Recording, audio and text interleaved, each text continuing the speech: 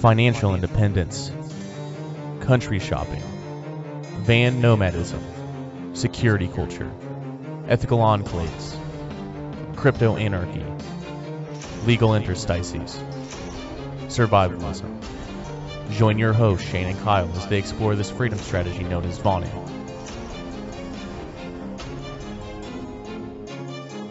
You're listening to the Vonu Podcast. And welcome to the Vonu Podcast, the podcast making you invulnerable to coercion. So this episode is titled Vonu and Cities, and the show notes can be found at vonupodcast.com forward slash 29. Uh, so not an intermission episode. This is, uh, you know, one of the mainline season two, uh, you know, episodes. So we've covered a lot thus far on this podcast, such as wilderness Vonu, van nomadism, minimalist sailboating, intentional communities, etc. All of those requiring drastic lifestyle changes, and for the most part, strategic relocation, uh, or you know just uh, temporary autonomous zones, mobility, uh, you know in general, uh, to areas unfamiliar uh, to most in the servile society. you know when you're complete when when I don't I don't remember the percentage, but the large majority of people are I guess uh, you know, you know, uh, I guess relegated to these uh, these urban areas, and I'm sure a lot of Vonu listeners are too. You know, myself included, and Kyle, you too, there in Austin, right? So so a lot of these a lot of these strategies we've talked about, you know, where where you kind of leave that society behind, uh, you know, may you know be strange and unfamiliar to to a lot of listeners, don't you think? Well, yeah, it was the I've I've even written about this before. It was uh, CIA World Factbook mentioned that approximately what was it, uh, 80 some odd, 83 percent, whatever the precise percentage was, well over three fourths of Americans live in urban areas, uh, cities. Uh, maybe they also threw the suburbs in there too. Uh, so never mind people who live in small towns, never mind people who live in rural areas, and never mind the people in those rural areas who are truly independent in terms of their own elect- uh, electrical production, food production, uh, plumbing, sewage, et cetera, et cetera, et cetera. All that kind of ba- what you would normally think of as basic infrastructure. Um, yeah, I mean, we're talking. I mean, you're getting. You're at that point. You're talking about what? Arguably 5% or less of the entire population. And there's like what, approximately 300 some odd million Americans, 320 million, whatever the latest uh, census figures say. So, yeah, the fact that you have over three fourths of those hundred millions in cities uh, is not an insignificant detail. Uh, when it comes to looking at uh, lifestyles and, and whether changes to said lifestyles are worth anything. Right, right, and this is why I think I've said this before. Uh, maybe you know, maybe uh, I, I remember exactly when, but uh, I really do think you know this topic, and cities, uh, could be the most popular set of episodes that we do because you know, you know, Kyle, you know, subjective value, right? Uh, you know, a lot of people don't want to go, uh, you know, live in rural areas. Some people, you know, like some things about the city. Uh, and you just said, you know, over 80% of you know Americans live in in, in cities. So so this is this this is going to be a couple of episodes that will certainly uh, appeal, or at least uh, or or at least come to the same level as a lot of uh, a lot of folks that, that may be listening. Yeah, and much like how you were look back when we were doing season one, you were looking forward to when the episode in uh, season two that we've done already on minimalist sailboating. Uh, and all that. Well, the season two episode I've been looking forward to is well the one we're doing tonight about uh, whether it's possible or not to Vonu in the cities uh, because, well, the cities are kind of the hives of industry and culture and uh, a couple other things, manufacturing as well, and, and so on and so forth. So it's not some like insignificant thing, right? I mean, people. You remember when Sam Konkin would mention about the retreaters like running away to the woods or something like that, or or oh, however yeah, he phrased it? Retreaters, yeah. Yeah. So I guess Sam Konkin was okay living in the cities, I suppose uh, for his own reasons. Maybe the reason he uh, thought so was something to the effect. I'm speculating a little bit here, ladies and gentlemen, but maybe some of the effect of well, if you're going to engage in counter economic trading, which which of course we've done the episode uh, earlier on ethical enclaves. Please see uh, earlier episode on that topic uh, you know, whether whether you call it an ethical enclave or you call it the agora, that your greater uh, probability of finding trading partners would probably be in urban areas. I would assume is what Konkin was kind of making his assumptions on when he was, you know, kind of decried, you know, de- decrying the, uh, uh, you know, Rayo and and similar folk. Right, right, and I think another reason too was, you know, he he he enjoyed the the intellectual discussions, you know, reaching status, you know, where they are. Uh, and uh, but according to uh, I interviewed Wally Conger, the author of uh, Agorist Class Theory. Well, kind of the author, kind of not. He he kind of compiled, uh, you know, Konkin's work on it and just added kind of, I guess, explanations and, and things of that nature. But I talked to him about it, and there used to be back in the 70s and 80s, uh, out in uh, out in Southern California, you know, like there'd be weekly meetings. Uh, you know, kind of, I, I guess, kind of, uh, you know, in the names of, you know, kind of the great libertarian philosophers of the past. So, uh, so Konkin, I, I do think that another reason he liked the cities was he like, I mean, that's where that's that's where you, uh, you know, reach people face to face, right? I mean, if you want to have a, uh, uh, uh, it's kind of hard to do that, uh, you know, Rayo style, right? I mean, that's not necessarily what Rayo did, other than you know communicating through publications. And and yeah, and obviously, like even Rayo himself would mention that he was practicing wilderness Vonu, but that would not necessarily be for everybody, right? So he kind of understood that. And obviously, you know, we're, we're mentioning about real life here and so forth. Let me make a, just a slight digression, mention about even uh, libertarian fiction. So, for example, like the events in Alongside Night, that's pretty much exclusively happening in urban areas whether it's the counter economic activity, whether it was uh, like Aurora, that underground kind of city mall complex type thing, that was even underneath like another city and so forth. Uh, city within a city or city underneath a city, so to speak. Um, if you look at like hashtag Agora. You know, most of that's happening in Germany and in, in urban areas, whether it was uh, you know Berlin or or Dresden or wherever else, and even other locales not in Germany were mostly in the cities, except for like one scene that was in a rural area. So there was like a homage paid to finding independence of some sort in a rural area. It was actually on a farm but um, and I think they were producing raw raw milk and selling it too in in that novel. Oh, you criminals! Yeah, exactly. To keep with the theme, because it was a big, big thing of uh, on, uh, actually crypto agorism specifically. But yeah, but even in that novella, hashtag Agora, uh, most of the events that were happening and most of the characters were themselves, you know, city rats. And you know, there's the old adage about you know city rats versus country mice, which I think is very uh, apt for this particular episode of TVP is that when you look at a lot of Rayo's writings, I guess maybe you could say, I guess you, I guess you had a guy who was a bit of a country mouse, at least in, to some extent. Um, but then when he's talking about the servile society, a lot of the language he's using and how he's describing it, he's kind of describing a lot of city rats, which for the most part is pretty accurate. you know, um, I, I, can't disagree with him too much as far as that goes. But I guess what we're kind of trying looking at here tonight is, um, I guess one way of phrasing it would be: Is it possible to be a country mouse? Uh, surrounded by city rats, for lack of a better way of putting it. hey, I, I like that. I like that. I, I, I certainly do. And, and it also is worth notice or worth mentioning that this is a very little developed strategy by Rayo. Uh, he he wrote uh, you know one chapter, a page and a half. We'll read the entire thing for you tonight. Was a very little developed strategy, so that leaves a lot of work for and I in season three. Uh, you know, when we really, really dive into this. But uh, you know, as is the uh, as has been the the case for season two, we're going to look at what Rayo had to say. We're going to obviously define some terms. And uh, in this episode, we're going to look at uh, the individual methods that uh, Rayo mentioned, as well as, uh, you know, just looking at uh, what he had to say, and we'll obviously uh, expound upon that a little bit. But but a lot of that will be saved for season three.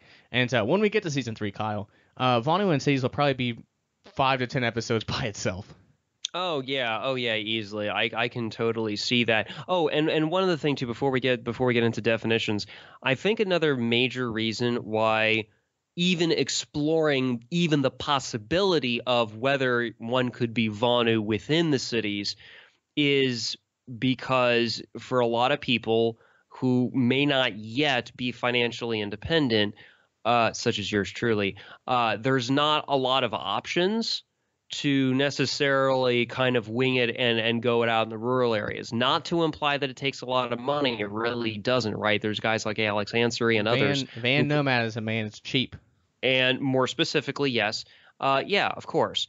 Uh, but then again, not everybody wants to live in a car or van or RV. So there there is a little bit of a give and take.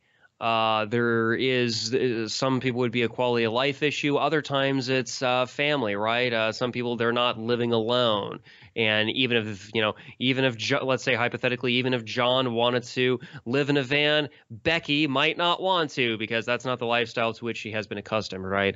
Uh, there, there's a lot of shades of gray here. So for whatever the, my point is, for whatever the reasons are, being able to at least be a little bit veneer within the cities has a lot of uh, potential for people who uh, were the other methods that we've already discussed this uh, second season uh, might not necessarily be available for. So even if somebody was interested, say in minimalist sailboating, but for whatever reason uh, they even if they're like already you know reading books on sailboating and all that in the meantime, while they're preparing, for example, to do the sailboating, they can at least increase their invulnerability to coercion while they're still in the cities before they go sailboating. So it's also, again, there's kind of like a sequence of events thing kind of going on here too, while they're also pursuing some uh, another method.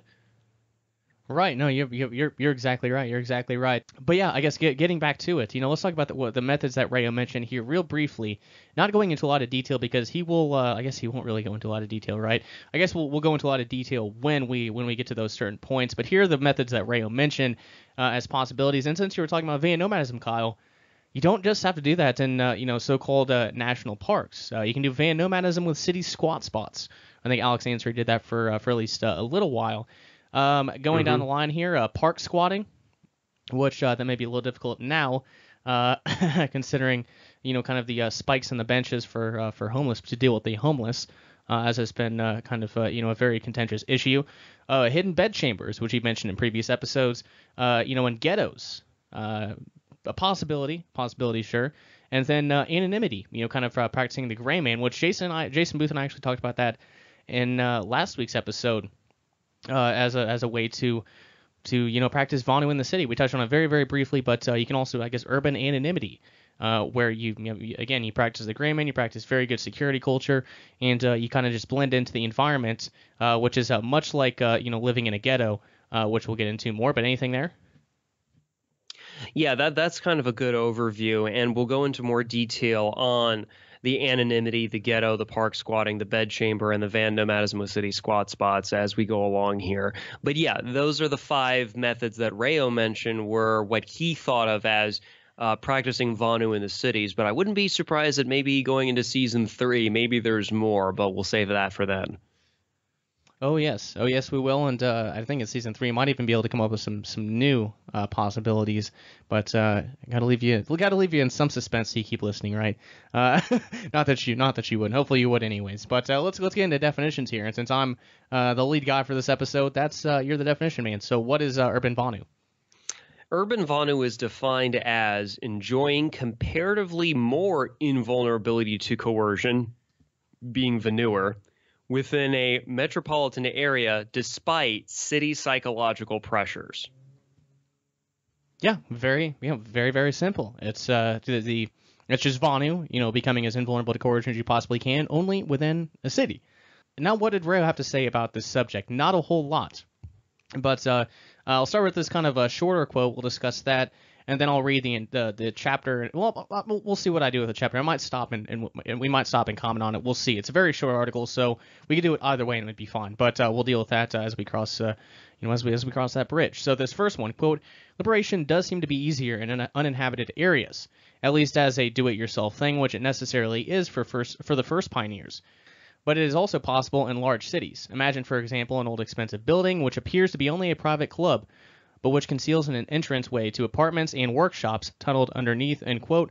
That's from Libertarian Connection number 5, November 17th, 1970. keep in mind, Libertarian Connection was this big, massive publication. Uh, I actually found an issue of it that someone took pictures of. I'm going to digitize that at some point. There's some that's illegible. But uh, it was cool to look at the table of contents. So you had Walter Block, like the second article, then you had Rayo in like the fourth. So like I screenshot, I took that, I posted that picture on the Vonu podcast page like that's pretty neat, right? You know, like Rayo, you know, just two two articles below Walter Block. Uh, all he's obviously got his problems, but just somebody with his notoriety today, uh, you know, being placed, you know, in the same publication as Rayo, just pretty pretty cool. Just kind of a side note there, but something that Jason Booth has said often, you know, in the in those intermission episodes, is that when you're an uninhabited, the, the, the, more people there are, the more coercion exists, right? The, the, in in that area. Uh, if you live in a big city, that's more enforcers, that's uh, more. Uh, that makes it more difficult to become uh, more invulnerable to coercion. But in uninhabited areas or in very very small cities with you know 50 or 100 people, um, there's not a lot of coercion there. There's not. Uh, he calls them limited coercion zones. Uh, is, is, is, is, kind of the way that he puts it. So I think that's a very, very good point to kind of start off with. Uh, maybe if you'll have a response. Maybe you, I'm sure you will. But uh, you know, it's obviously easier in uninhabited areas. But what do you think? I disagree. I don't think it's the number of people. I think it's the density. Consider, for instance, a prison cell you can there's only at most even even when they're kind of shoving a bunch of prisoners into a cell there's not that many what four five six however many the state's now doing nowadays uh, but there's plenty of coercion if the prisoners really don't like each other or they just want to rape each other or whatever it is so that doesn't take a lot of them but there's definitely more of it. Or even if it's not something like a prison, even if it's like a bunch of people who technically have their liberty, but they're all like in a one bedroom apartment uh, that's a greater probability of, of coercion automatically. At least I think so, because there's no boundaries.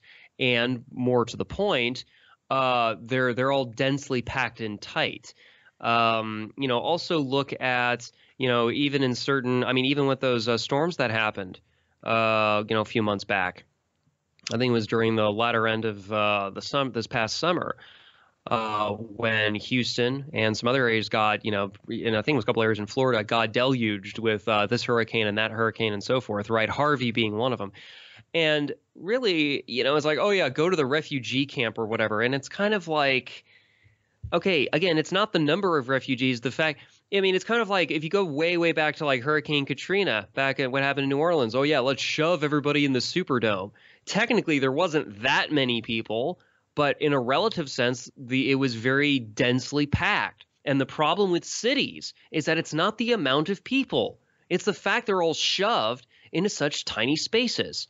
If you had the exact same number of people, but they had more space per foot, then I don't think the coercion would be anywhere likely, and and even even if it's even if it was just person on person crime.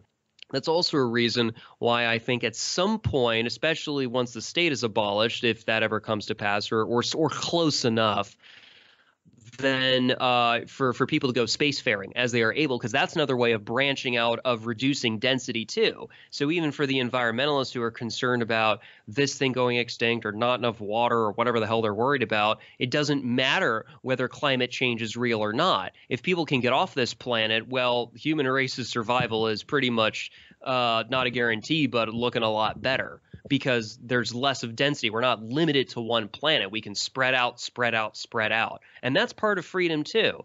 You know, you can be, I guess you can have your communes occasionally and shove everybody in, in an area, but those are people who already have similar values. The real tricky thing is when you have a bunch of people who don't have similar values, should they really be put in densely packed areas? you know, I'm just saying, whether it's a prison cell or a one bedroom apartment, uh, yeah, I, I, hope I hope you guys really like each other. right, right, and, and, I can certainly understand what you're saying there. I guess the I, I, guess it was more more so a comparison when we when we discussed it uh, in previous episodes, like the Siskiyou region versus say Chicago. Um, and maybe yeah, maybe it's not the only factor too, but uh, but generally speaking, I mean, smaller towns like uh, you know where I went to uh, you know uh, high school, you know, government schools. Uh, it was a very, uh, you know, a very small town. There wasn't a lot of coercion, minus the property taxes, which are pretty outrageous. Uh, the yeah. property theft. Uh, but as far as you, I guess the da- the daily tyrannies that that, that we've talked about before, uh, you know, there really weren't, a, you know, whole, there really weren't a whole lot of them. There was one police, there was one bludgeon in town and uh, he was a lazy piece of shit.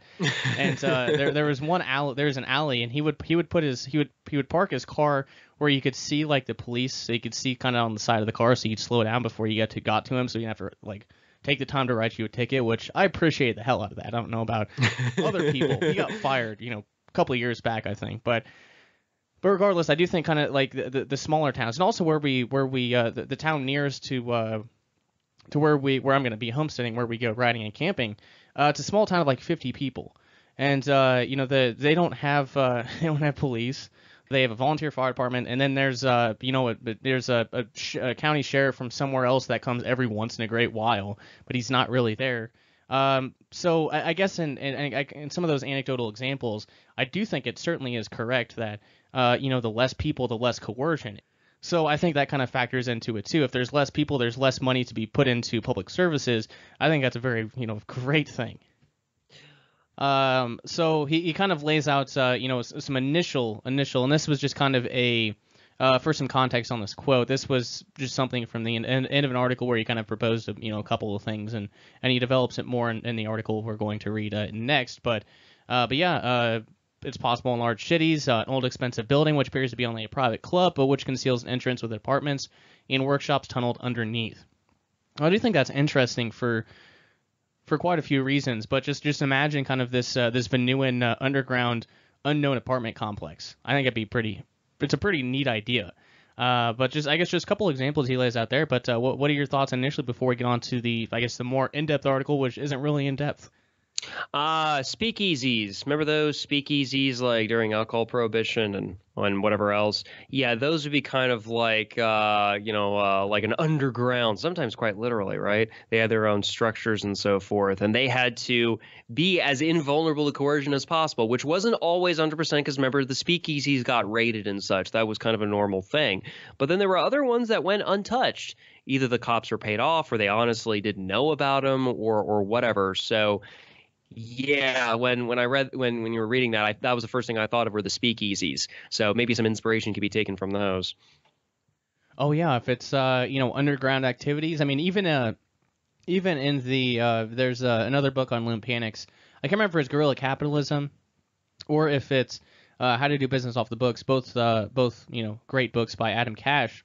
Uh, one of them is out there for free. Uh, uh, just go to go to libertyunderattack.com forward slash guerrilla capitalism to get that one. But uh, I remember which one it was, but there was a chapter in there, you know, learning from actual criminals. Uh, you know, Vonuans could learn some things from them. You know, they have to stay underground, they have to stay hidden, uh, you know, lest they end up in a cage, right? So let's go ahead and get on to this, uh, you know, the, the final, I guess the, the final excerpts here. Uh, this is from Vonu Life publication. This is number five, January 1972. Let's go ahead and get into it. And this is called, well, you know, very appropriately, Vonuan Cities. Crazy how we came up with that title. Uh, so let's get to it. Quote, most discussions of Vonu living assume uh, unpopulated or faraway places. Concerning urban possibilities, five possible approaches come to mind. The first and simplest is anonymity. Be visible but not noticeable. Conform outwardly while doing your own thing in secret. Be inconspicuous, as Alan Humble says in his article, but most of Humble's advice concerns what not to do. Where does Humble go to do his own thing? Probably not to his apartment. Renting under a nom de plume does not prevent inspection by landlord or police, or overhearing by nosy neighbors. Humble speaks of children, but I wonder if he has any. He says to keep children out of sight during school hours. I wouldn't want the job of keeping children quietly cooped up in an apartment during slave age hours, uh, slave school hours. Incidentally, I've heard that California has lowered slave age to six. Regarding Humble's recommendation uh, to avoid paying by check, I agree if the transaction is face to face, large, or repeating. But selling small items by mail, like Vonu Life, for cash only isn't feasible, so you are welcome to pay by check. Urban anonymity offers no protection from such dangers as nuclear war. Despite these criticisms, I agree with most of Humble's recommendations, many of which apply to all Vonuans, not just urban anonym, uh, anonymites. I live much of the way Humble advocates before taking up van nomadism. For me, anonymity alone was unsatisfactory because of city psychological pressures. I was immersed in an alien culture with values hostile to my own. Whether or not I was especially vulnerable, I felt vulnerable.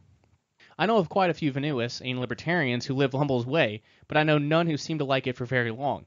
Perhaps there are, there are ways to cope with these psychological pressures. If you think you have found a way, tell us. But personally, I prefer to live far enough back in the woods. Uh, and quote, will stop there. So yeah, that would be the urban anonymity approach.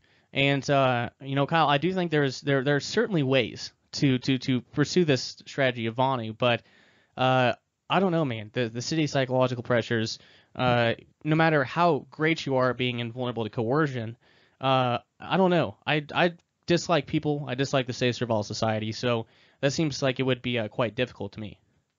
Okay, so there's at least two elements at play here. There's kind of the security culture part of it, and then there's the, I would agree, the city psychological pressures. So let's take uh, these one at a time. So there was that article I wrote a little while back, which was the uh, entitled "Blending in the Art of the Gray Man." and this was more about well the concept of the gray man which is part uh, which is a technique of the good security culture and i, I think that's what uh, when Rayo was kind of mentioning about what Alan Humble said in his own article about uh, urban anonymity, what they're really kind of talking about is being the gray man, right? And and hiding in plain sight and so forth, and not causing a ruckus, and and kind of being bland and drab as possible, at least in some sense, right? And you know, there's different elements to that. There's it's not just appearance; it's also behavior and then at the same time, there's also you have to have good situational awareness. And then, of course, uh, as, as, as the uh, survivalists and so-called preppers would call it, uh, you should consider having some sort of everyday carry uh, items on you of one kind or another. A little bit of a different topic. I'm only mentioning it here because that's that would be, be really being kind of anonymous in, a, in an urban context, right?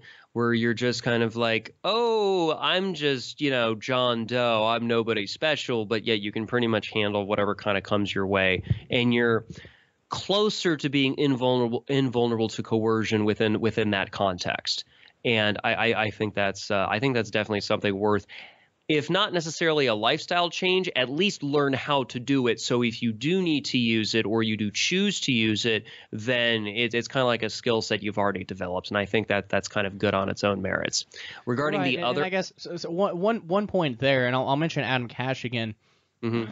And you know, certainly these things are possible, and uh, you know, there there are strategies to to I, I guess, uh, there are solutions to, to the issues that may arise if you're if you're uh, you know pursuing venuance in a city. Um, but I, I, I still I I'll, I'll, kind of reiterate this again. I think it'd be very very difficult. Uh, from Adam Cash's you know writings, he he practiced good security culture, thankfully, but he did seem a little bit like a controlled schizophrenic. I mean, he talked a lot a lot about the Constitution uh, and the law, and you know, uh, uh, and, and, there was some, there were some status things in there, but at the same time, there were a lot of great strategies that he proposed at that time. Uh, you know, the banking and finance world has changed quite a bit, uh, but at the same time, I, uh, I, I do think there's there's some valuable things in that book, but. well, I yeah, think Adam I, Cash. I, I, don't know. I, I think he's kind of an example of maybe the city psychological pressures. You know, being very, very good on some things. You know, avoiding the the uh, the, the theft known as taxation, uh, and proposing strategies for others to pursue. But uh, I still think that there's there's that kind of underlying theme here, which you're what you're about to get into, uh, is is the city psychological pressures. Yeah, and I'm and I'm glad you mentioned Adam Cash. So I, I, think that's kind of an example where somebody's kind of focusing way too much on practicality and not enough on philosophical grounding, because without a philosophical grounding, it's it's it's pretty much you know game set match. It's pretty much a fait accompli that said individual is going to become a controlled schizophrenic sooner or later because if they you know if you don't believe in something you'll fall for anything kind of thing.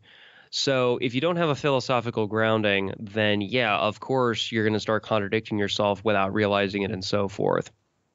That being said um, even if somebody were to practice their urban anonymity and practice good security culture more generally and being you know really good at being the gray man more specifically the uh, yin to that yang would, of course, be the city's psychological pressures. And it's not just the pollution, it's not just the traffic noise like outside my apartment, it's not just the stress of traveling in the traffic to get to work. Uh, or if not necessarily to work to run other errands, whether it's grocery stores or you know pick any one of uh, the different services that uh, such an urban area provides, and so forth that you have to pay for uh, with Federal Reserve notes or, or preferably with something better. Uh, it's not it's not just that. It's also the culture, right? It's it's the servile society in its most concentrated form, uh, at least in some sense, uh, because there's a whole bunch of people who are uh, essentially pushing this, uh, as Rayo himself kind of put it, an alien culture with values hostile to his own, and that's that's something you can't really easy easily get away from, right? I mean, we we can have a lot of discussions about infrastructure, whether it's whether it's certain types of industries, whether it's more physical things like bridges, tunnels, and so forth. But then there's culture, there's behavior, and and so forth, and, and certain assumptions that people are making, and that uh, that can get kind of messy real quickly in the sense of like how do you deal with that? So, you know, I mean, me personally, if if people were more kind of less densely packed in and more spread out, the ease of which to exercise one's freedom of association and disassociation both uh, I think would be a lot easier, as opposed to if you're all crammed in pretty much the same area. Then even if you do try to ostracize somebody from your own social circle or even work circle or so forth, uh, if you're all unpacked on top of each other, where shall we say, well, we see each other in rush hour, hypothetically, or whatever, it gets kind of uncomfortable really quickly. So, right, right, and and I, I guess one other thing too, you mentioned the culture, and if you're if, if you're, I mean, let's look at Rayo for a moment here. So what was he exposed to out in his uh, polyethylene A10 early on, and probably some sort of a troglodyte, uh, more of a troglodyte dwelling, uh, more uh, completely underground or, or partially underground. Um, what was he exposed to as far as culture was, Uh, or kind of those those very dangerous uh, ideas that culture propagates, such as nationalism or war or uh, or theft on a on a grand scale uh, called taxation. Um, how how how much was he exposed to that? Well, I, I would say you know, unfortunately, it's it's sad that uh, you know it's sad that, that that this was true. But I'm sure in some of the publications he received, uh, the libertarian publications, uh, he did see some of those things. Uh, kind of that, uh, uh, kind of the, the, the unfortunate aspects of, of, of culture that you know that you know for those who for those of us who who do try to practice Vonu and City at this point, without the ideas being fully developed yet, that'll be season three. it's kind of a bombardment of these things. Any sort of entertainment you you attend uh, or or partake in will likely, you know, 99.9 percent chance will be just filled with, uh, you know, the, those very uh, those very um, you know nasty, dirty things uh, that states like to do. So so I guess the the point here is, got to have a very very strong mind to deal with all of that.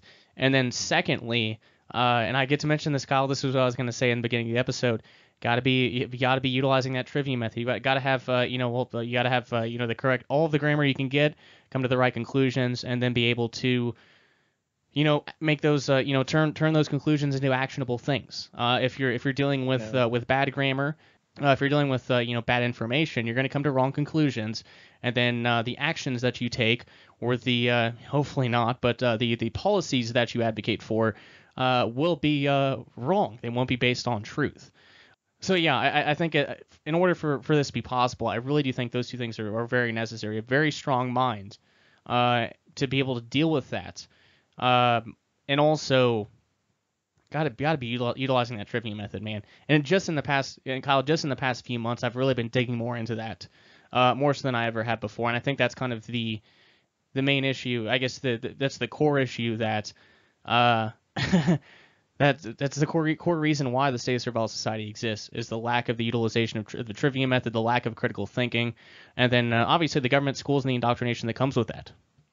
Yeah, and and and not to belabor the the point too much about this, but the city psychological pressures take more than one form, right? Whether it's certain pressures on the job, or here's actually a non-job related one: waiting in line.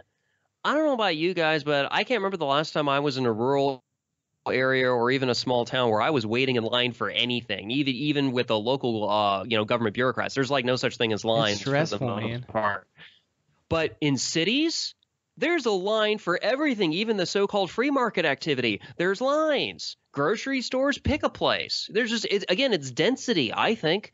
And uh, and see that's the other thing too. Even if it's like a day off, whether it's the weekend or something else, and even if you're just let's just say hypothetically, let's just say you're quote unquote shopping let's just say make it like a part day or all day thing it takes a lot of time to go especially if it's different stops you have to make for whether it's different errands or even something that's fun you know, it takes time to get in the car and then drive and find a place to park, then go inside and then do whatever the activity is and however long that takes. And then you have to get back in the car, drive around again, find another parking spot, and it's wash, rinse, repeat. And next thing you know, like five, six, seven, eight. I've had, you know, where I was, you know, doing stuff with the, with the wife, we are just going out and doing stuff. Next thing you know, it's like six hours later and we're not even half done and we've had to just like put certain things off because it just takes so long to get anywhere to do anything and it's like, wow, this is rather inconvenient. So this pers- so what these city rats do culturally, where they make everything so quote unquote efficient and quote unquote convenient, and then everything takes five times longer to get anything done. Doesn't matter whether it's going to a laundromat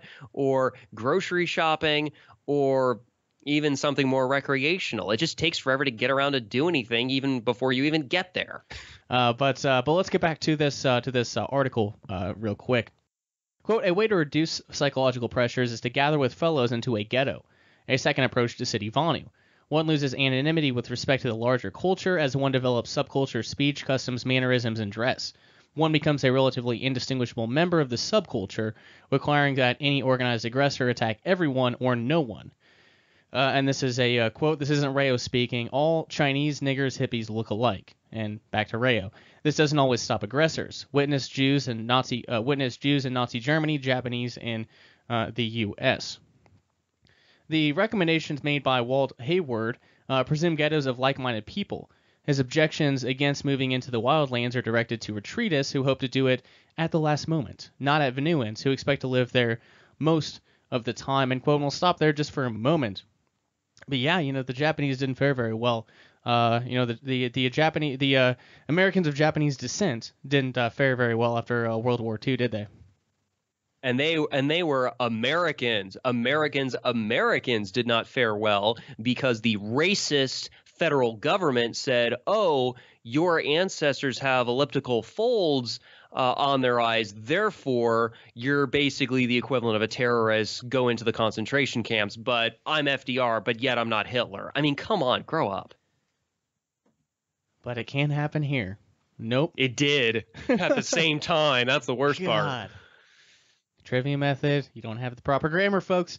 Um, but anyways, uh, uh, I, I, guess as far as the rest of this, uh, I don't know. I mean, I suppose in some in some circumstances you, the, there would be kind of the approach of attack everyone or no one, but uh, you know uh, uh, what was the uh, the uh, this the Waco the what what's what brand of church were they were what what brand of religion were they?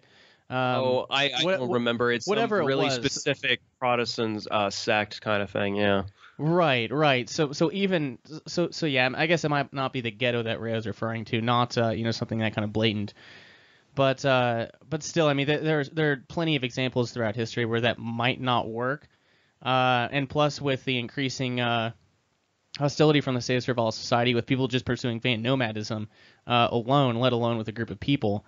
Um, and then you look at, as I mentioned earlier, the uh, you know kind of the uh, the spikes on the benches to prevent homeless people from sleeping there. You know, I think I think this sort of a strategy would be difficult uh, in modern day uh, America, where the Save Survival Society attacks anybody with uh, with a different lifestyle than, than they view as uh, as uh, classy or whatever whatever it is, right? Yeah, pretty much. All right, back to it. And is going to kind of conclude his thoughts uh, on this approach. I just wanted to mention those couple of things real quick. Uh, back to it. Quote: Ghettos are also possible in rural areas. The, te- the Takilma area southeast of Cave Junction, Oregon, is almost a free ghetto. While freaks may not be in the majority yet, they're enough to render the area unattractive for anti-freaks, causing most laying up for sale to be bought by freaks, etc. Analogous to what happens in new black ghettos and cities. How much protection this provides remains to be seen. There have been quite a few arrests for growing, using pot, etc. A bigger crunch will come when substantial numbers of freaks, uh, freak children become old enough for slave school. Will the Supreme Court, uh, in quotes, I love that, require long hairs and short hairs to be intermixed by busing? Or will it compel kids to cut their hair middle length with the length set by the majority vote every four years? End quote. Man, I love that. that. That last portion in quotes. Will the Supreme Court require long hairs and short hairs to be intermixed by busing? Or will it be, will it compel kids to cut their hair middle length with the length set by the majority vote every four years? So fantastic. You know, another I probably pretty obvious to, to, to, people listening to this podcast, but I, I I love the kind of the, the eloquent phrasing that Rayo has for kind of proposing these philosophical ideas. Yeah, he's basically ridiculing the whole anti-discrimination laws and such, right? I mean, and, and also the busing laws, which were part of that, right, as well as many other things. So this second method of, for lack of a better term, the ghetto method, is the idea where so it's it's kind of more of a collective version of the previous method, whereas the previous method it's more individually based, right? You are the gray man. You are kind of there's kind of an implication that you're alone. Here, though, with the ghetto method, it's kind of like if you got a bunch of gray men together, but not necessarily they're not really gray anymore. They're kind of like taking on a certain persona or certain shared cultural attributes in any sense. Sometimes skin color, yes, but not always. Uh, you know, hence like the old all the hippies look alike, right? That's not limited to heck that's not even limited to gender right? Because there's also the women folk right? So uh, there, there's lots of there's lots of different ways to kind of look at this. And so yeah the whole ghetto thing might might be kind of interesting. You know it's actually interesting here too. Like here in austin there's like a certain segment of the population which is very uh, hipster. Very much so especially in downtown and you can pretty much see them so yeah if somebody were to adopt kind of like a, a hipster aesthetic uh, that could be a type of ghetto of sorts, I guess. And, and another possibility that came to mind is, or I guess not a possibility, but something that came to mind when reading this. Uh, so, so the idea would be to, I guess, move into an area, uh, buy up all the land, and dissuade any uh, any squares from from wanting to move into the area. So would this be similar to uh, you know, there's this uh, really, and, and, for, for good reason and in, some circumstances. I mean, it's always done, uh, you know, via the local government. They can get more in taxes, they can charge more for property taxes, so they're going to subsidize and uh, all of that. That's obviously terrible. Uh, if there's a market demand for it, then sure. But gentrification, you know, where there's this small city and, you know, more, you know, lower, I guess, lower to middle class folks, and, you know, these rich folks come in and, uh, you know, get uh, grants from government. Uh, you know, there might be some in a domain where, uh, you know, we need a road built here. Can you guys help us? Sure, we'll get paid a lot more money, or we'll, we'll be able to steal a lot more money. So sure, we'll we'll do that. Um, so I wonder if that would be kind of an example of kind of, uh, it wouldn't be a ghetto though, right? Uh, I guess it would be kind of a, I, I don't know, I don't know. That's that's what came to mind to mind to me is kind of changing it so that it's uh, you know the the area is unattractive to, to the folks that you know have lived there for forever uh, and turning it into uh, you know something else where they can become invisible and just be another one of those uh, another one of those uh, you know I guess squares. Uh, you know the uh, the people who buy uh, you know a house in suburbia, uh, you know kind of have uh, the really uh, uppity Main Street sort of things. I, I don't know. Maybe that'd be kind of a counter ghetto. I don't know.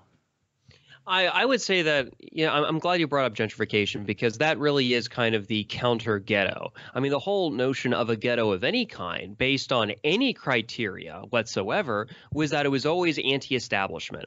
Not that necessarily any particular ghetto was necessarily ethical or worthwhile, but that it was uniquely distinctive, even between other ghettos. Uh, relative to the mainstream culture. So, more of a subculture of sorts. And, you know, like for example, like back in the 1920s or thereabouts, you know, there were Irish ghettos, the Irish tenements in New York City. Those were ghettos. So those people would technically, the Irish would technically be, you know, be called so-called Caucasians, but they weren't part of American mainstream culture, not even a little bit. Even the second generation ones weren't even part of uh, American culture because they weren't allowed to be, even though many of them tried to assimilate, and many of them eventually did once you got into like third and fourth generation and so forth. Um, the Italian, uh, again, so-called Caucasians from Europe, uh, but they had, you know, the Italian ghettos again in New York City uh, to use another kind of example of, of a so-called ghetto and so forth. Uh, there are the various Chinese ghettos, usually in the, on the West Coast in various areas, whether it be Los Angeles or other places. Uh, that those would be so-called ghettos. Heck, even the oh, this is perfect. Even the very concept of a Chinatown. There's even a Chinatown in Washington D.C. By the way, for people who don't know. The very concept of a Chinatown is a type of ghetto. or at least it used to be. Now it's just this term that's usually used to kind of uh, have a kind of certain flavorful of, of uh, flavor of gentrification, unfortunately. But what originally was was basically a very definable, even in physical space, uh, subculture that was uh, really at odds and different from the mainstream one. The problem with gentrification is that that's now a counter move by the more mainstream servile society to basically abs- to basically uh, absorb and dilute uh, those counter establishment, anti establishment ghettos of various flavors. So I know that libertarians usually are very polycentric. And that's where the kind of ghettos kind of uh, more or less by the time, if you look at it like in the aggregate, sure. But gentrification is basically the authoritarian uh, uh, reaction to that. And unfortunately, it's been pretty successful. Um, but let's uh, get to the third approach here. Quote, a third approach involves a blend of concealment and deception. Construct hidden soundproof apartments and workshops beneath or within an owned building ostensibly used for other purposes. Since such chambers could be blast, fire, and fallout resistant, this approach offers protection against nuclear attack as well as day-to-day predation. The family of Anne Frank, Diary of a Young Girl, tried unsuccessfully to hide this way during the Nazi occupation of Holland.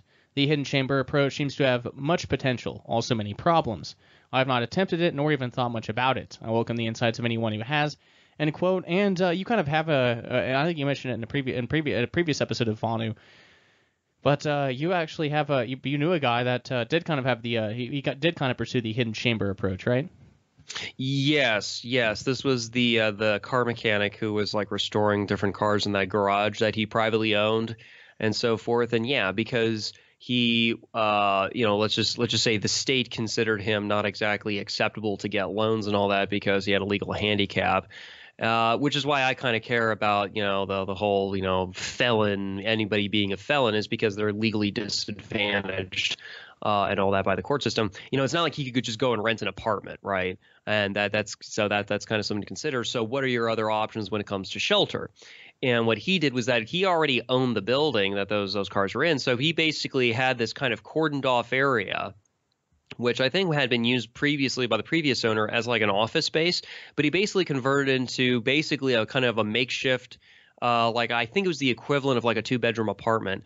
And unfortunately, with what time I did have with him, I unfortunately didn't really kind of emphasize about his living quarters because I kind of felt that that was his own private space. But what I did notice from a distance, because I was in the garage a lot, uh, the portion of it, which was most of the building, um, I didn't. Yeah, I mean, he had uh, he had working electricity, he had his own working plumbing.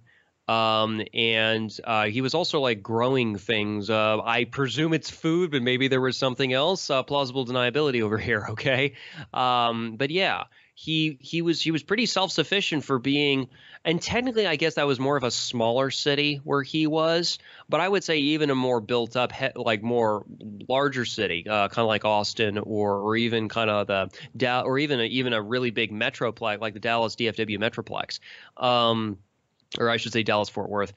Uh, I, I, think like a method like that hidden bedchamber, like what that car mechanic did, I, I think would be uh, uh, potentially viable. And unlike the previous two methods of, I guess that kind of gray, purely individual gray man anonymity, or the ghetto approach, I think the uh, I, th- I think the hidden bedchamber has a lot of potential that I think is rather untapped. No, I mean that, that's certainly an incredible story. But uh, but yeah, I think this is a this is a viable approach. Uh, I, I really do. And if and if you tie it in with a business too, uh, if you have an above ground business, and you know as as as as per guerrilla capitalism again, I'll bring it up. Uh, if you have kind of a side hustle uh, that you can do underground, uh, you know all, all all the better. Uh, like a mechanic shop, if you were to do uh, you know, work for other on work on other people's vehicles as uh, kind of his uh, underground occupation that he did on the weekends or something, and he could kind of tie that in, uh, and he could buy the parts through his business, and uh, and that would be something that'd be tax deductible, all those good things, and then also, um, if he tied in with his business and it was actually at the mechanic shop like it was. Uh, I know there's something here in Illinois, and maybe it's more widespread. I don't know, but if there's an actual property or I guess if there's actually an actual home on a property, they increase your taxes. So if you tie it in with a business, then I think that'd be a cheaper route to go. Uh, so I mean, there are a lot of benefits that come from that if you're kind of doing the above ground and underground thing. Uh, for pursuing venuance, I think it would be a, an interesting kind of. Uh, it'd be it'd be interesting. I think uh, you know for, for freedom pioneers, I think it'd be a fun way. How can I trick the state? You know, how can I do this? I think it'd be a, a very fun venture. Yeah, and like I mentioned in previous episodes, I still like my potential idea, which still needs to be tested, about uh, you know maybe maybe doing something in an industrial park. You know, get either buying and or leasing some space, and then trying to see if there's a way to have uh, you know, construct something within the structure itself. Again, kind of like what was mentioned earlier this episode, uh, the the um, the quote from Libertarian Connection number five, where you're you're talking at that point something like a speakeasy in terms of like the actual infrastructure itself, uh, maybe, but not maybe, exactly. Maybe like uh, maybe like Aurora from Alongside Night, only more of kind of an apartment based thing, not sure a wide. And sure, that'd be another possibility too, but. Um, but yeah, I, I think that'd be a, a, a, very interesting approach, and it's not the most, you know, it's not the most. Uh, the, the, most uh, you know costly strategy as far as initial investment goes we propose in this podcast. I'm sure you know a submarine. Uh, actually, well, Jason and I figured out the price of uh, there was a submarine mentioned in uh, one of those publications, and it came out to like three point three and a half million dollars. You know, adjusting for inflation, uh, and that would have been like the cheapest one available back in the 1980s. Uh, three and a half million dollars. Uh, you know, that's what it would cost today. Uh, an aircraft car- a decommissioned aircraft carrier, a lot more than that, I'm sure. Uh, so, so you know, an industrial park. We were looking one, uh, one, one day, Kyle. Uh, probably, probably about a year ago at this point, I'd imagine, or thereabouts. Uh, I mean, as far as industrial parks go, there's a kind of a wide varying uh, price there. And uh, you know, for some, if I remember correctly, there were some that were under a million dollars. So that's Yeah. not the actual. I mean, it's actually not that far outside of the realm of possibilities. Uh, you know, like when contrasting that from like a decommissioned aircraft carrier. Right, of course. So again, the, there, um, I, I would assume there's a lot more than one way to skin a cat here. But yeah, I, I still think that if we're talking about doing urban Vonu, then I think hidden bedchamber is is definitely a way that to definitely is one type of way to kind of explore that in in more detail. Right, right. So let's get to the uh, the fourth approach here, which I think is also interesting. He says, "quote a, th- a fourth approach: build a den or camouflage camp on unowned land, such as a public park. This approach has been much has much in common with wilderness Vonu. Major advantage: easier access to city. Disadvantages: more difficult to conceal. General hazards of city, including smog and nuclear threat." A man built a shack and lived undetected for 17 years in a Portland City park, reported in preform inform. Park squatting might be done easiest by Vonuans who first develop concealment skills in unpopulated remote areas, then opt for better city access. End quote. In some ways, I think that this approach of the park squatting, I think would be the way to put kind of put it, is it in in some ways it kind of reminds me of the ghetto approach, but not quite because you know I mean I mean the ghetto is trying to become a permanent autonomous zone, right? That that's kind of what it aspires to be right? Whether it's a whether what the old of what used to be a Chinatown, right? It it wants to be a Paz, but it's not quite there yet. It never really kind it kind of got there because it's really just more you know an, an area within a city, right? The park squatting, in in some ways, I I think is. It's it's and it's not even a temporary autonomous zone necessarily either, right? It says build a den or camouflage camp on unowned lands such as a public park. So yeah, I mean, I guess, I guess somebody could build a shack. Uh, again, the example he gave, uh, the guy built a shack, live undetected in a Portland City park. But then I guess it depends what kind of city park, right? I mean, if we're talking about like a like a world famous one, like uh, Central Park in New York City, I think it's in Manhattan or somewhere, right? Uh, yeah, that that's not going to work too well. No, Right. there's there's a lot of traffic that goes through there. right. So not not all city parks are created equal. Um, however, there are also other parks, like say around Austin, for instance, that are rarely used, or shall we say, they're really only used by the uh, by the outdoorsy and somewhat yuppified or hipsterfied uh, REI, for instance, Ah, right? So a little bit of the tragedy of the commons then. Just a little bit, yeah. But again, you know, uh, you know, so people would be already. But what I'm saying is that in, e- even in that sense, it wouldn't be necessarily bad to kind of live there all the time. You just would have to move around a little bit. So that's that's getting closer to a temporary autonomous zone. Is I, I I guess in some sense. So as long as the den or camouflage camp was movable.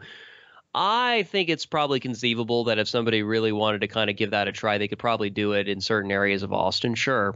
Um, I would say this that that particular example should probably be fielded to Alex Ansary, right? He's a, nat- a native Portlander, right? Uh, regarding at least the situation here in Austin, I would say if someone wanted to hypothetically experiment with the uh, park squatting approach, um, maybe better to do that in South Austin, of course, being defined as going south of the Colorado River. See, I'm north of the Colorado River, which is where most of the city is. Uh, so, and and from my knowledge of the city parks, I don't personally suggest it. If you go south, though, you have half a decent chance. Not a guarantee, but you have a chance because there's more like parks and they're larger, and it's more for the yuppified REI crowd who are backpacking and people who are kind of gone for days at a time. So if you have like these larger parks, even within city limits, that where it's the normal activity is kind of more like a hiking backpacking thing especially if there's like campsites maybe or maybe not. Maybe campsites are not exactly the right approach. I mean i don't know. I mean that that one's debatable. Then you know that could be an option. Uh, but yeah long story short what i'm trying to say is that depending in certain areas of even suburbia especially if there were new areas that like uh, the developers were just just finished developing right outside those developments, like even in like shall we say the shared backyards, there are certain areas that are still got heavy brush, not trees necessarily, but places that someone could hide. And on occasion, I've even found some of the homeless people there. So if the homeless people can occasionally do it, all right, so the fifth approach, quote, van nomadism with city squat spots. Some differences from wilderness squatting. Private land, such as backyards of friends, is probably safer than streets for long stays. The vehicle need not be a self need not be as self-contained, since utilities are close at hand. Off-the-road performance isn't important. Appearance, conventionality, license plates, etc., are important. End quote. So the slave tags, yeah, definitely necessary if you're going to be in the city.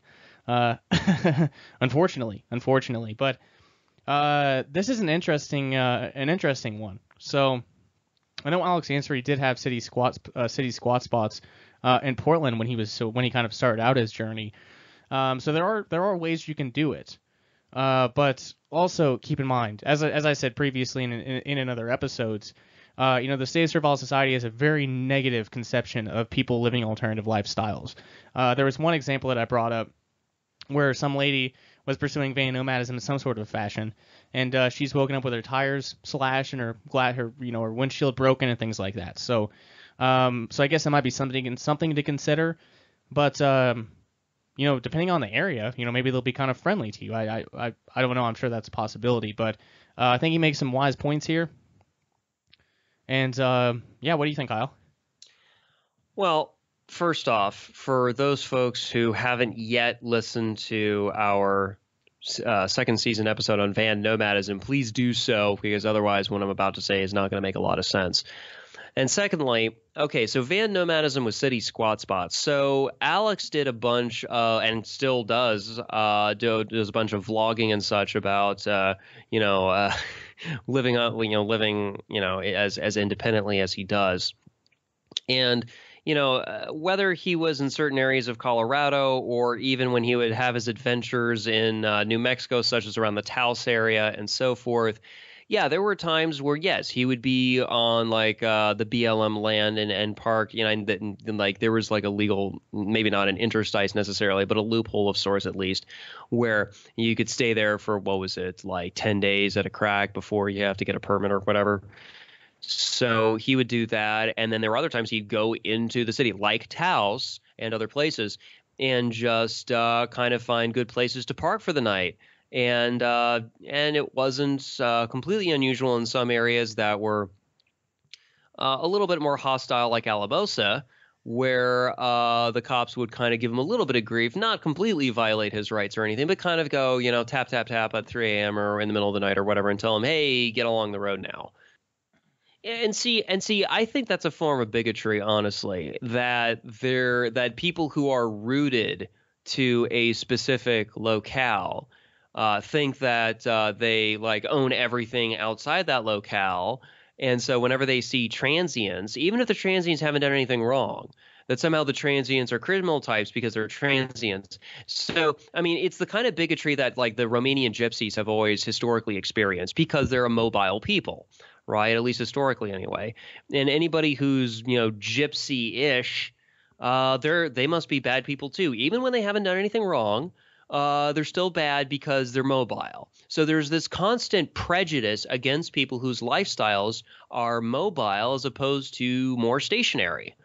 So that I, I've never really liked that about the Servile Society. Like it's like okay, even if you don't want to be mobile in terms of your home being mobile, fine. But why are you assuming that people's homes that are mobile are somehow a bunch of criminals? Right. Yeah. It's it's the uh, it's it's the difference in lifestyle. It doesn't matter what it is, whether it's van nomadism, uh, whether it's survivalism or prepping. Uh, it really really does not matter what sort of strategy. Uh, you know, it it it, it takes uh, what what sort of uh, form the strategy takes. It's uh it's it's contrary to the the culture and the lifestyles of those in the servile society. I mean, that's that's what it comes down to, as far as I understand it. And the controlled schizophrenia, the idea that this person is taking initiative themselves, therefore, uh, you know, uh, I'm a slave. I'm jealous of them. Uh, you know, they they have more freedom than I do. Uh, you know, let me just use government violence against them and uh, make me feel better. You know, they aren't doing it, so you know, you know, I'm I'm fine. I'm fine where I'm at. Uh, it's kind of the mindset that I that I think you know really really is, is, is predominant here. Um, and it's unfortunate. Uh, it, it really is, but it, it's not surprising. It's not surprising in the least bit. Right, and so I think that in terms of doing uh, practicing Vonu in the cities, I mean, other than maybe the gray man, you know, a, a, you know, a, anonymous approach like living in an apartment or something, leased under another name or or something to that effect. Probably the easiest approach probably would be the van nomadism with city squat spots. To be perfectly honest, because I mean the ghetto approach is is rather issues. quite limited. Yeah, the park squatting also has some issues Yep. Although arguably the, maybe the next best thing to van the van nomadism maybe. And then of course the bedchamber thing is still where i would kind of put my two cents but it requires uh, a lot of other things to kind of fall into place which i'm saying is not is not impossible but it's not something that you can necessarily do tomorrow. The van nomadism city squat spots. You can totally do tomorrow.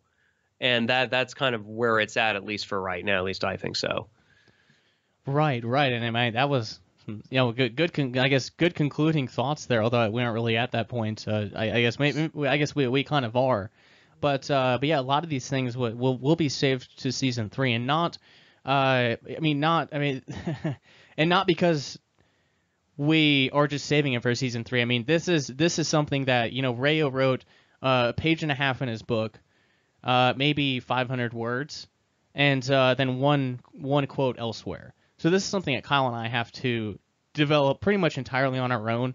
Uh, except for, for I mean, we always want to hear from you guys. I mean, what what do you think about some of these strategies? What what do you think are potential ways, uh, potential you know strategies and ways to overcome obstacles uh, for pursuing benevolence in the city? So I guess it's not doesn't fall all on us, but as far as producing the podcast, uh, at least in I guess the foreseeable future, then yeah, I mean we, we we've got a lot of thinking thinking and talking to do on these subjects.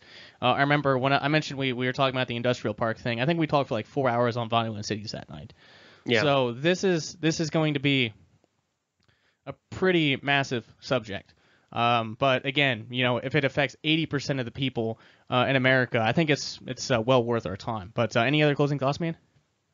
Yeah, two in particular. So I kind of, as as much as I like the character, I really do disagree pretty strongly with the fictional Bruce Wayne, aka Batman, about the whole uh, oh uh, Gotham needs to be saved. No, Gotham. oh boy, we're getting into comics, are we? actually it's actually it's rel- actually I think it's relevant here because a lot of the whole so- so-called superhero fiction of one type or another but I think I think Batman more is the most is probably the most crystal clear about it and and le- ironically least ambiguous because because it's obviously ambiguous about other things like human nature and such. But the whole thing about "Mm, well, well we must save the city thing uh, you know we, we're combating e- even in the dark even the Christopher Nolan um, it was the second movie, the one with the Joker. Heath Ledger's the Joker, uh, The Dark Knight. Uh, the whole thing about oh we're you know oh we're uh, we're we're struggling for the soul of Gotham kind of thing, and all I'm thinking is like, okay, I appreciate some of the themes, I appreciate you know some other things going on here, but the actual like you know, uh, uh, what's at stake here, at least in one sense, is that they're they're vying for control of a city and all I'm thinking is like, why?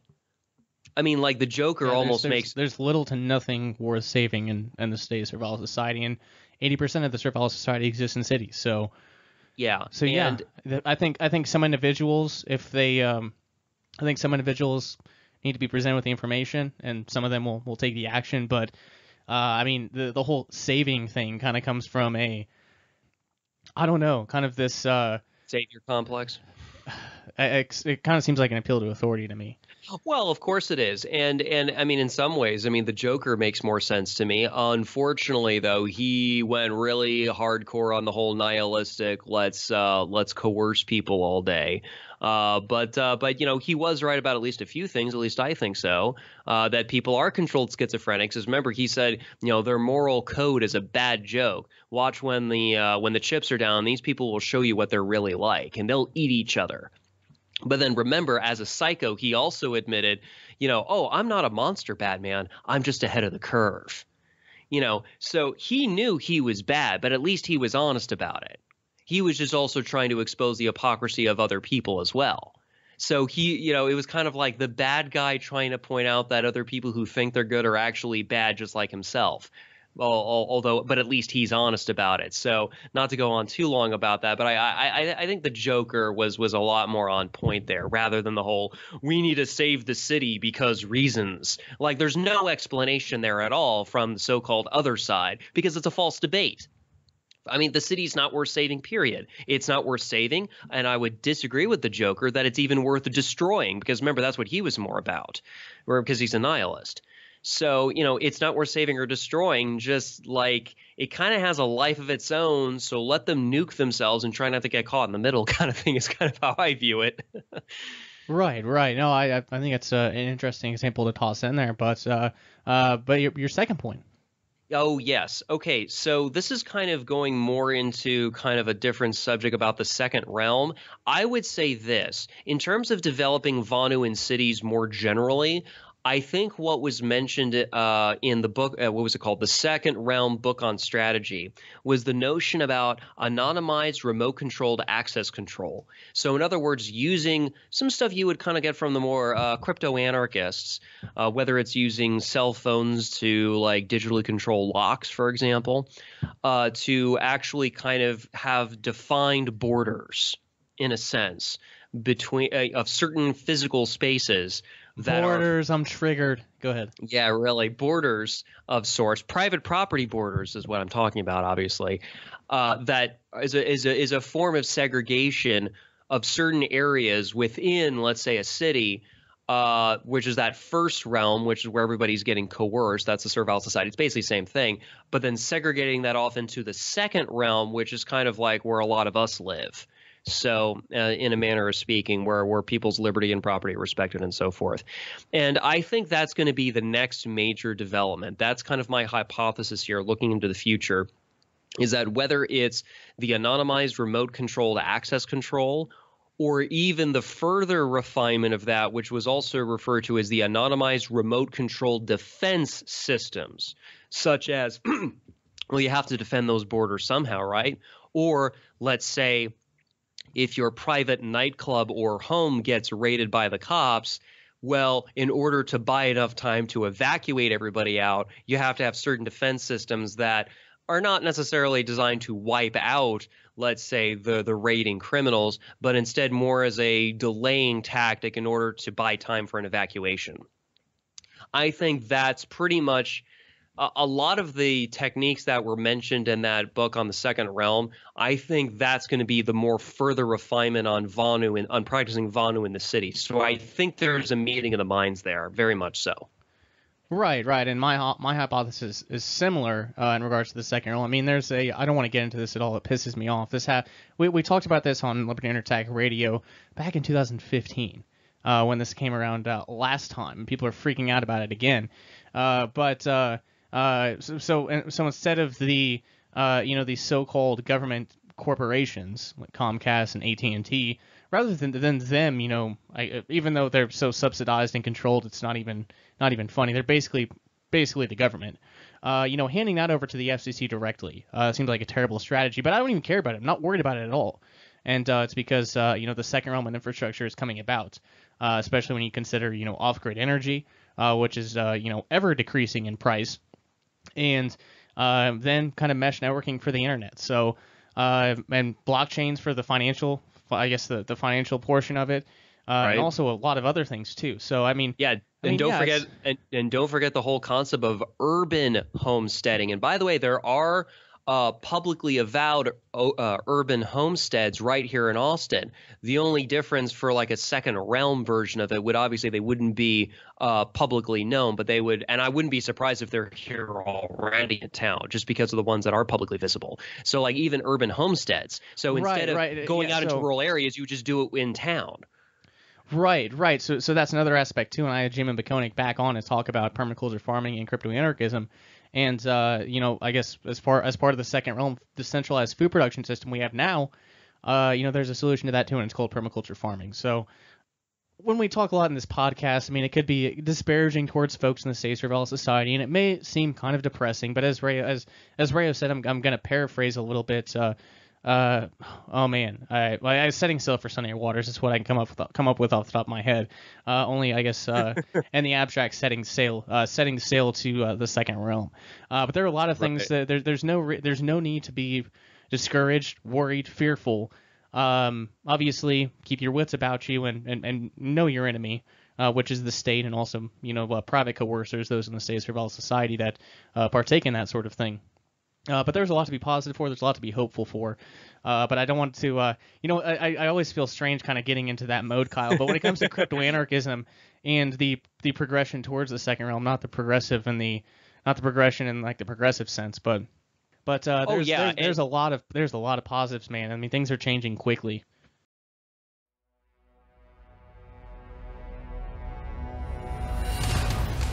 because that's really the issue that we're dealing with with these you know ghost phones ghost pads whatever is that there's no way that you can organize with with other people and have these distributed tribes if you have a snitch in your pocket all the time.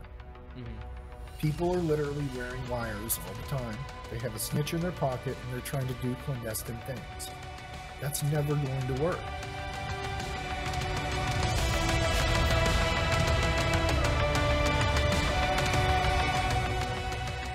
focused on this project now because I really see how the unfettered flow of communication is what really has prompted this, you know, shift in consciousness. And that if this does, if this can't continue this way and people can't communicate freely with each other, then all the dis- distributed networks that have formed um, aren't going to be very effective and they're not going to uh, they're not going to be able to do what they could do.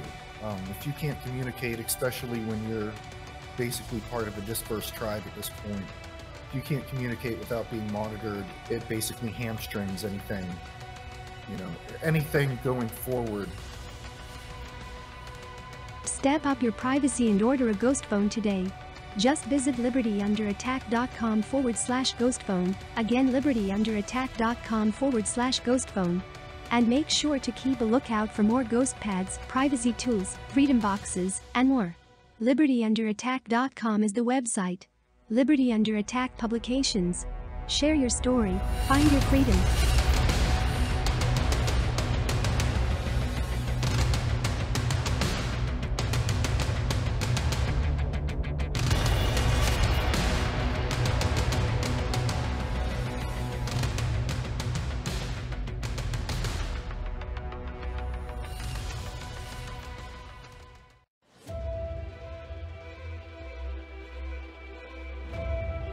The intent of the GhostPad is to offer a complete security and privacy hardened computer system that is built from the ground up to be an effective direct action countermeasure for those who want to actively resist the privacy intrusions of the, the entire surveillance state hydra, both public sector and private sector. A user friendly computer that the owner maintains exclusive control over every aspect of its operation and has complete control over who accesses what data. A ghost pad is your virtual corner of the room where the cameras, microphones, and other data collection devices have no power. After all, power comes from ownership, which is exclusive control. Unlike practically any other available option, when you buy a ghost pad, you are truly its owner. And while the masses beg and bleat to their political corporate masters to loosen their chains, ghost pad owners can use their systems as virtual bolt cutters and cut themselves free. Ghost pads are high quality business rugged laptops that have had the security compromising system firmware, BIOS firmware, Intel management engine, etc., removed and replaced with more secure, free and open source alternatives.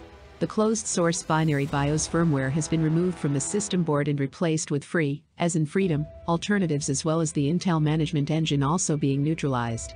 That combination makes them more secure by design and preemptively thwarts any attempts by threat actors, both public and private, to gain access by exploiting its vulnerabilities, either by an engineered in and hidden backdoor, or a zero-day exploit in the factory, supplied firmware or the Intel Management Engine. Perhaps the most important security privacy enhancing feature these systems have is the neutralizing of the aforementioned Intel Management Engine, IME. The IME is a separate computer in a computer that is embedded into all Intel platforms made since 2008. It has its own operating system called Minix. It operates out of band meaning that your primary CPU has no access to monitor what it is doing, and it has direct access to all the hardware that your primary CPU does, making it the ultimate embedded spying device. You can't audit what it's doing, it's always on when the computer is plugged in, or has battery power. It has its own network interface with its own MAC address that can bypass any system firewall configuration. It has its own storage you have no access to. It can access your microphone, camera, keyboard, can record keystrokes, and display, can screenshot your encrypted communications while you are reading and writing them. The IM can only be disabled by modifying the system's firmware. That can only be accomplished by using an external programmer to reprogram the chip that stores the system's firmware. Only select laptop models can be modified. We concentrate on the compatible models with the highest performance available. We offer models that are 2x as powerful as any configurations sold and supported by Lenovo. Transitioning your computing activity to privacy-hardened platforms is a direct action strategy to resist the attempts at total omnipresence by the surveillance state. To put it simply, these systems are some of the few available that are likely compromised in some way on the firmware level, so they are some of the most secure and private available for use cases where those attributes are the most important. It is also why systems configured this way are considered as ideal to use as a base to install a security privacy hardened OS, such as Qubes OS, Parrot OS, or other privacy focused Linux distributions, on. To view the full selection of ghost pads, ghost phones, and other privacy tools available via Liberty Under Attack publications, just visit libertyunderattack.com forward slash privacy tools. What are you waiting for? Step up your security culture today. Again, libertyunderattack.com forward slash privacy tools. Liberty Under Attack publications, share your story, find your freedom.